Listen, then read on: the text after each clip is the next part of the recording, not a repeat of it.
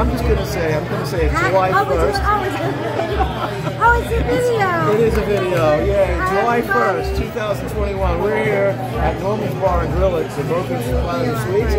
And the privilege here, sitting next to Donna Shelley, the Rhythm Chicks here. And the Rhythm Chicks will be back July 31st. That's back, back up that camera. Back in the You know, in all the close-up I have her performing, and I'm hearing her say, back it up here, sitting next to me. That's amazing.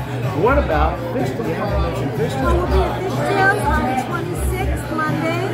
Monday the 26th, fabulous at the Fishtails. And so July 26th, Fish- and July 31st Here. here in Norman. Right. Inside the lounge.